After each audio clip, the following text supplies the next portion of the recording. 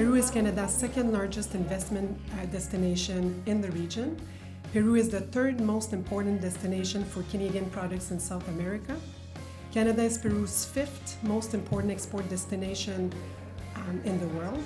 Peru leads the region in the production of gold, zinc, lead, and tin. It is easy to understand why the mining sector is one of the pillars of our economy.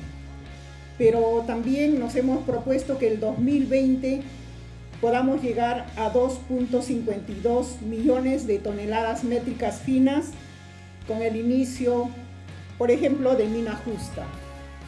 In the last 20 years, the Peruvian economy has stood out for its solid macroeconomic fundamentals based on the consistency and credibility of economic policies, trade integration with the world, and market-based institutions that promote a beneficial business environment.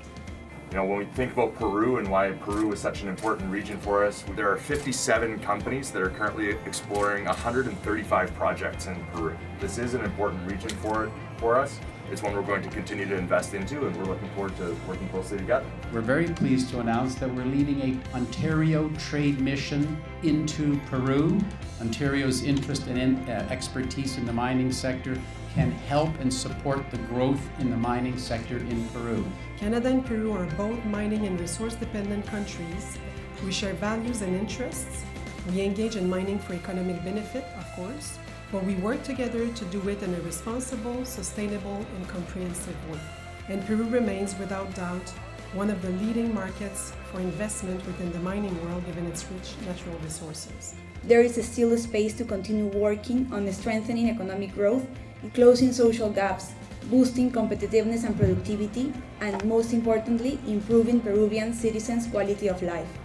Partnerships with rapid, rapidly growing economies like Peru allow us to seize those opportunities.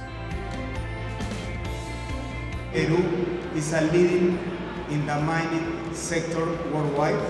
Give it a generous round of applause to all of the representatives from the mentioned Peruvian government.